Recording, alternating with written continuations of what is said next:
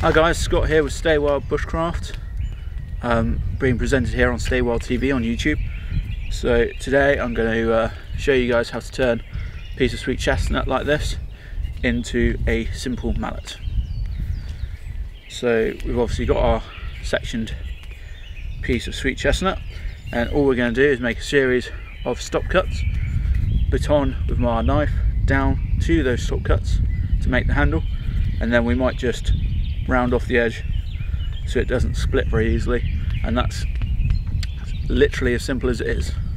So first things first we're going to just simply decide which end we're actually going to use as the mallet and which end we're going to use as the handle. There's not really a lot lot in this but I think we'll use this end up here. As there's a few more knots which means the grain's a little bit more um, compacted in some sections so it's less likely to split um, and this ends a little bit more knot free so we use that as a handle handle end so we're going to place this down on our tree round here.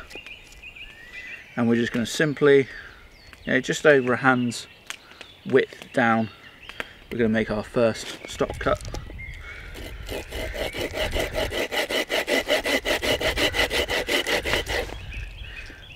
And we're simply going all the way around piece of wood.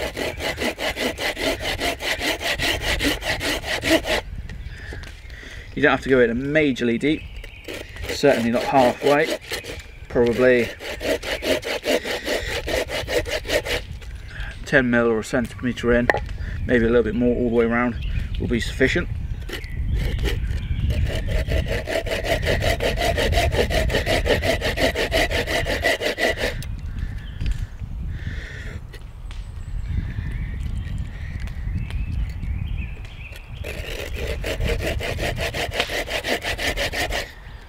And try and make sure you can line your cuts up.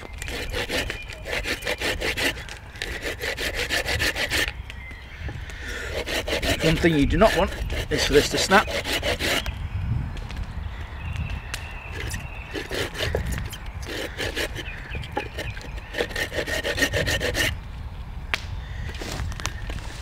Just keep going around, finding the bits that are a little bit shallower, just cut them down.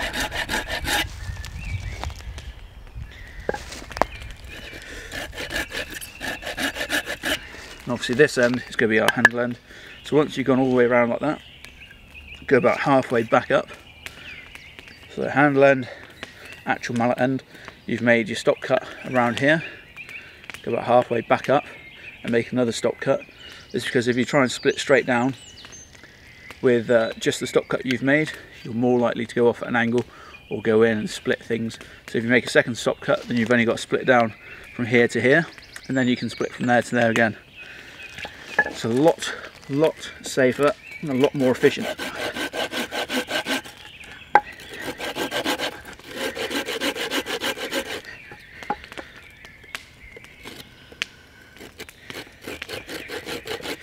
This poor uh, Laplander is showing its age.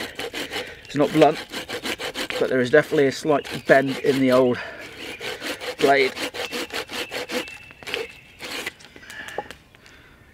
Only a slight warp. But it is catching just ever so slightly. So I'm going to have to bend that back out. That's one of the good things about a Laplander is uh, they don't tend to snap very easily. And they can be bent back into place. Because the actual steel for the main blade itself is very soft whereas the teeth are over hardened and glued on or something. So if you actually bend it you can bend it back into position without snapping it off. I wouldn't recommend heating it up to do it. Despite the fact metal bends a lot easier when it's warm, you'll probably mess up the heat treat and uh, end up in a worse position.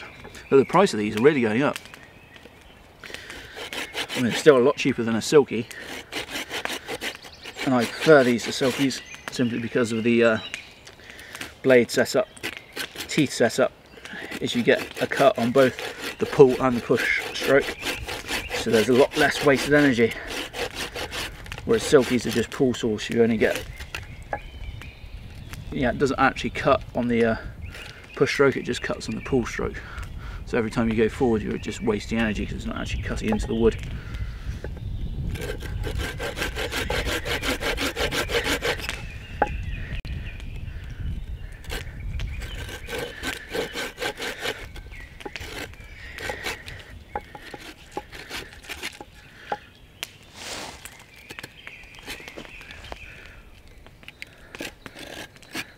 Also, I think for the price, you can't build, beat a uh, Bahco Laplander.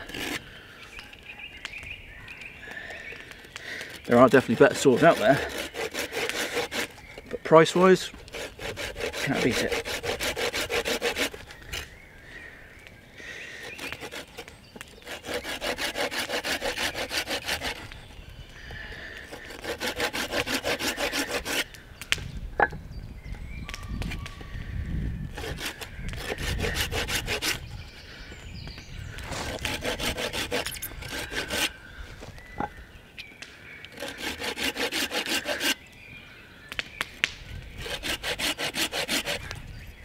Keep going back round.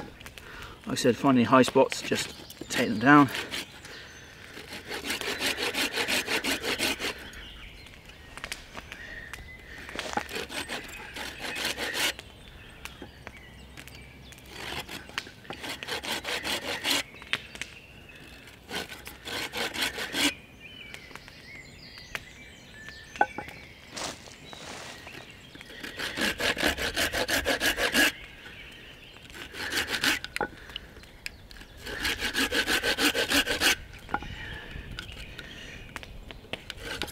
The end of the world if you don't go down too far with the saw as you can then use your knife to neaten it up.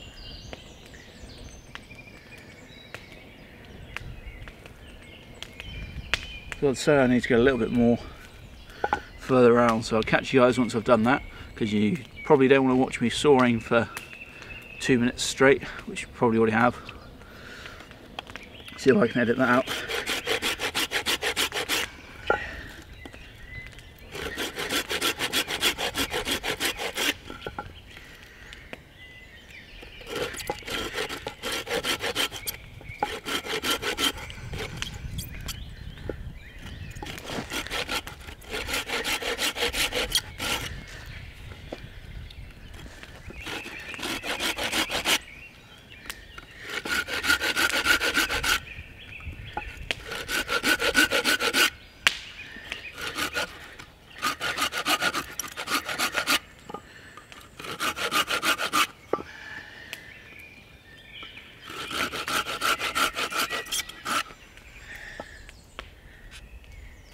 Okay, so now we've done the sawing, it's time to now baton off the sections that you want to take off. So obviously you'll need belt knife, machete or an axe. Obviously machetes and axes are a bit safer to and a bit more efficient to baton with because the working edge is a little bit longer so it's easier to hit. So when I use a belt knife because the cutting edge is shorter I always bring a wedge with me or make a wedge. So I've made this one today. Um, and literally this is just designed so that if your knife gets stuck in the workpiece instead of having to fill it out and potentially cutting yourself trying to get it out um, you just leave the knife blade in there stick the wooden wedge over your split line having the wedge in. The wedge will continue splitting the wood. You allow your knife to simply safely fall onto the floor and then you can safely pick it up afterwards Campfire's getting a bit smoky again. Wind keeps changing direction in here. And then obviously you need a batoning stick. This one's a bit long, but we'll see how we get on with it. So place your knife over where you want to split down and then simply hit the spine of the knife. And then you should go down to your first um,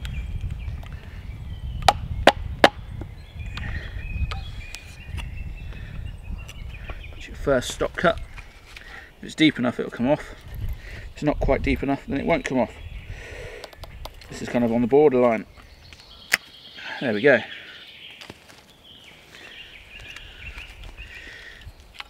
then move your workpiece around Same again.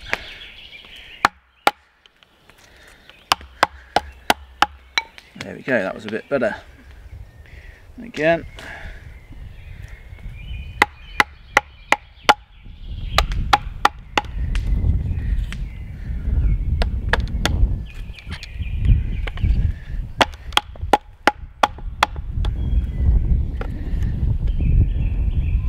Again, we didn't quite go far enough back on our stop cut there, so it's just caught up, but you know, just pop it off. And then the last cut.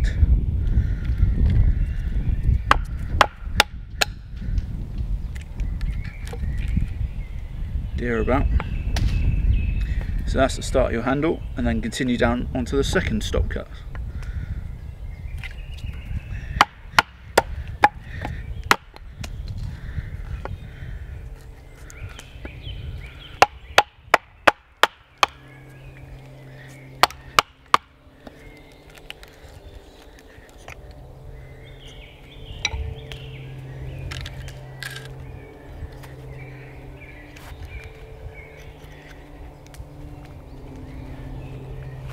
Blimey. That's in there well. If you can't get it, you can always hit it down a little bit more or move around to the opposite side and go back to that.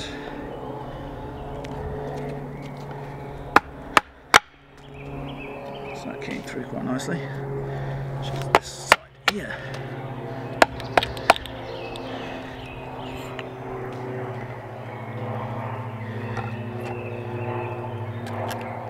Also be mindful of where you put your knife down. Ideally you should always put it back in your sheath when you're not using it. So there we go, you have the start of your handle.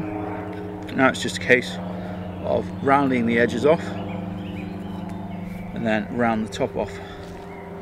So again you can use your baton to do this. Just put it over the edge. I always try and put it a little bit further onto your work block if you can to save yourself any problems. This is not the roundest piece when it comes to the bottom of it, so it will move around a bit.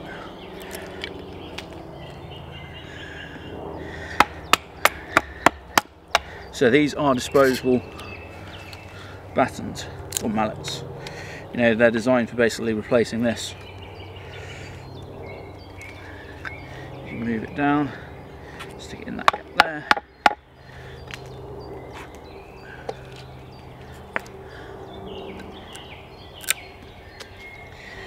knock that corner off there.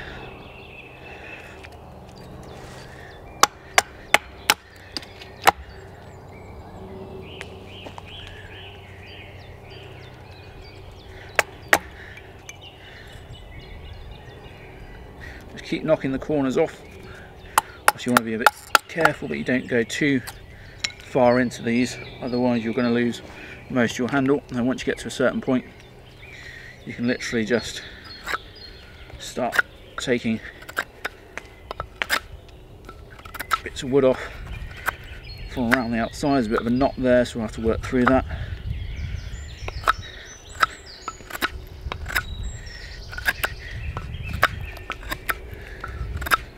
you can always do reverse so this is a forearm grip, front hand grip. Basically look like you're about to punch someone. Your knife up there. Can turn the knife back away towards you to reverse hand grip. You can get a chest lever in. Take a little bit more material off. That's what I'm going to do to get past this knot.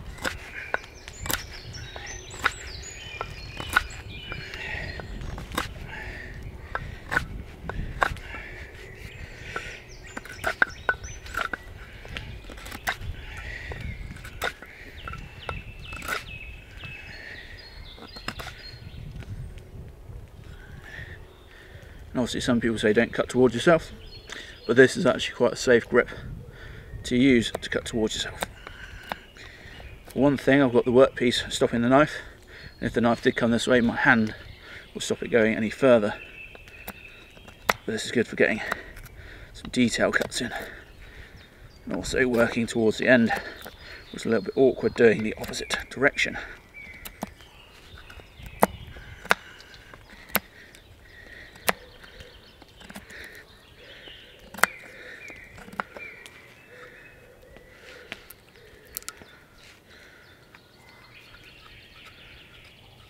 So that handle's comfortable enough. Like I said, it's only for batoning wood really.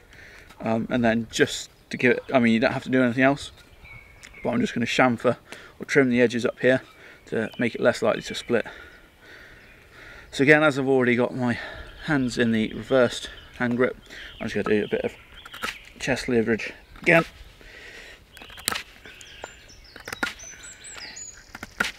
You're basically coming up, placing have laid on your workpiece and then effectively doing like chicken wings and bring your shoulders out to get the power from your upper body. You can get much more powerful cuts that way.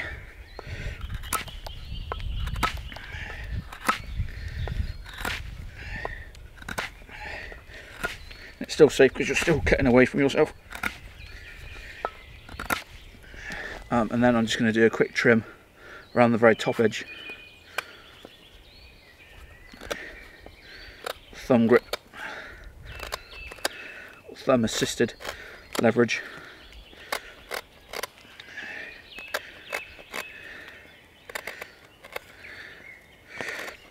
And this is just intersecting the grain of the wood so when you're hitting down on it the shock waves are getting dispersed out across the entire piece of wood rather than down through the grain so it's less likely to split on you.